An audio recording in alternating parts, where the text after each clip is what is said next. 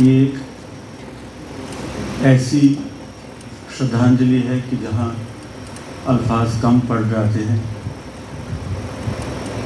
हमारे वो अज़ीज़, हमारी वो आवाज़, जिन्होंने पूरे देश में नहीं बल्कि विश्व में एक पहचान बनाई और हमारी कम्युनिटी को नहीं, बल्कि अपने जम्मू कश्मीर को, बल्कि अपनी कंट्री को एक नाम दिया, जिसके बेस पे आज हम ये कार्यक्रम यहाँ पे आयोजित कर रहे हैं। हम हर साल करते हैं। काफ़ी सालों से कोशिश कर रहे हैं। उन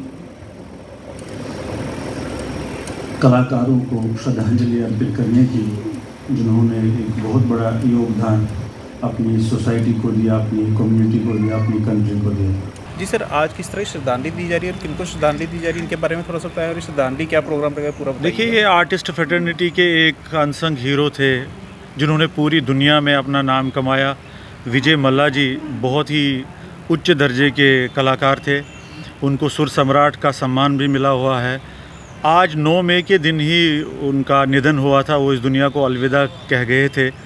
तो वो, उनकी याद में आज एक ये अथरोट कल्चरल फाउंडेशन के माध्यम से यहाँ पे सभी कलाकारों के द्वारा एक श्रद्धांजलि समारोह बुलाया गया है, जिसमें अलग अलग जगह से आए हुए कलाकार जो है, उनके गाए हुए गाने और उनके साथ में जो उन्होंने पल बिताए हैं, उसको ताज़ा करेंगे, वो सबके सामने समक्ष यहाँ रखेंगे।